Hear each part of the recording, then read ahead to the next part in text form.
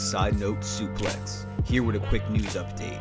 So, news on Charly Caruso broke earlier this afternoon. Fightful.com stated via Twitter Fightful has learned that heat with WWE wrestlers backstage, among other things, led to Charly Caruso being pulled from WWE TV.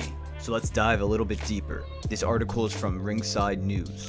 Charly Caruso might leave WWE after being replaced. Charly Caruso is no longer on Raw Talk, and a new report says that she was pulled from television due to her tardiness. That backstage heat was said to have especially came from her being late for interviews with Randy Orton and Sheamus.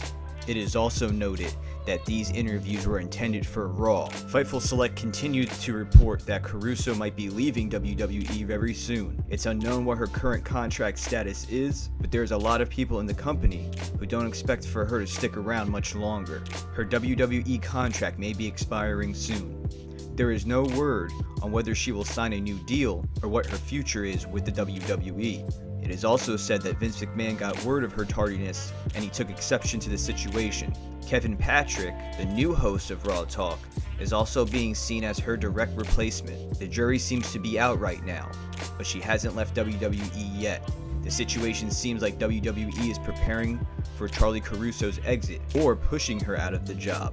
Either way, it certainly appears that she has been replaced on Raw Talk from here on out.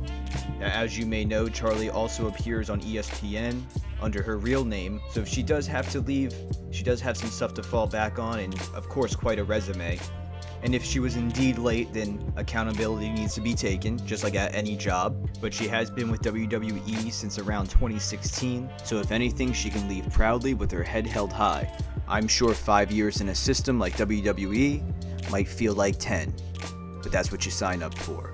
Stay tuned to Sidenote Suplex for more news on this developing story.